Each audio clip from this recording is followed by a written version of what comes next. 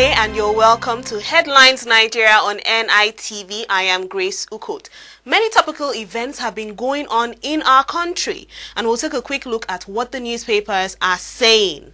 This day newspaper says there will be no rivalry with VP, says Jonathan. President Goodluck Jonathan has indicated that his administration will not be marked by bitter rivalry between himself and the newly sworn-in Vice President Namadi Sambo. He also gave a glimpse of the responsibilities that the VP might be asked to shoulder when he stated that Sambo would meet with the economic team regularly to ensure delivery of promises to the public. Niger Delta, Shell restarts $2 billion gas project. The relative peace in the Niger Delta following the federal government amnesty program has prompted Shell Petroleum Development Company joint venture to restart work on gas gathering projects previously delayed by funding and security problems.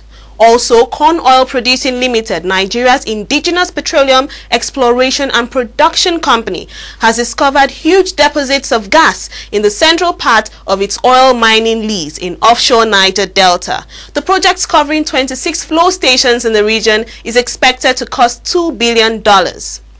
Another Nigeria-bound toxic waste ship intercepted.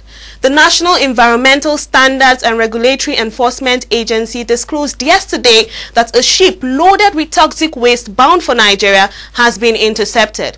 This is coming six weeks after the same agency discovered a shipment full of toxic waste headed for Nigeria. Leadership newspaper, Why I Picked Sambo, Jonathan.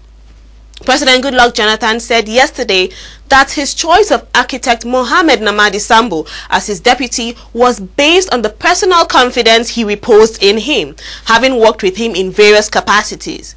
Jonathan had recently worked with Sambo in the National Economic Council, the National Independent Power Projects Committee, and on the construction of the National Secretariat of the People's Democratic Party. Corruption, more heads may roll in PDP National Assembly in an effort to thoroughly investigate the involvement of some prominent Nigerians in the 17.5 million euro Siemens bribery scam, the Economic and Financial Crimes Commission has summoned three former ministers who are alleged to have been indicted in the scandal for interrogation. 5 billion naira allegation rocks maritime security bill. Allegations of 5 billion naira appropriation for a non-existent maritime security agency dug the bill for an act to establish the Maritime Security Agency, which was meant to promote maritime security and other related purposes. The bill was eventually withdrawn on the strength that its provisions clash with other agencies in the armed forces. Ibori, no concrete deal with Metropolis yet. Waziri. The chairman of the Economic and Financial Crimes Commission, Mrs. Farida Waziri, has revealed that her commission has not made any concrete treaty with Metropolitan Police yet, but had already sent delegations to the UAE authorities to help in the extradition of former Delta State Governor Chief James Ibori. And now moving over to Punch newspaper, assault on journalist, JSC redeploys magistrate. Following the public outcry against her assault on a journalist covering the alleged 7.5 billion naira fraud against some bankers, an Abuja chief magistrate, Mrs. Zainab Bashir, has been redeployed by the Judicial Service Committee of the Federal Capital Territory. And now Daily Trust newspaper, Jonathan told not to contest presidency in 2011 a founding member of the People's Democratic Party and former Nigerian ambassador to Germany, Professor Tunde Adeniran, has advised President Goodluck Jonathan not to contest in the 2011 presidential elections. Adeniran also kicked against appointing Minister of Information and Communication, Professor Dora Akunyili, as chairman of the Independent National Electoral Commission. Sharia Council backs Yerima on marriage.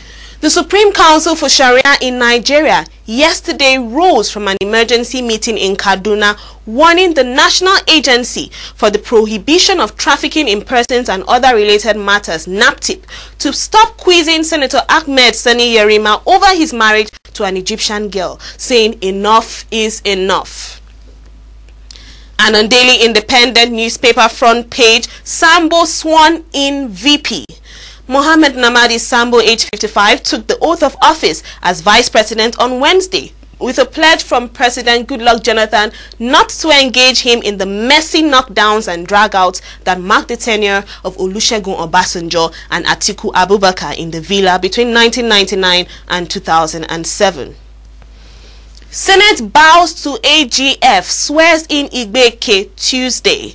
The Senate has set next Tuesday to swear in Alfonso Igbeke to replace Joy Emodi as the Senator for Anambra North, in line with the appeal court ruling in Enugu last month and based on advice from Federal Attorney General and Justice Minister Mohamed Adoke.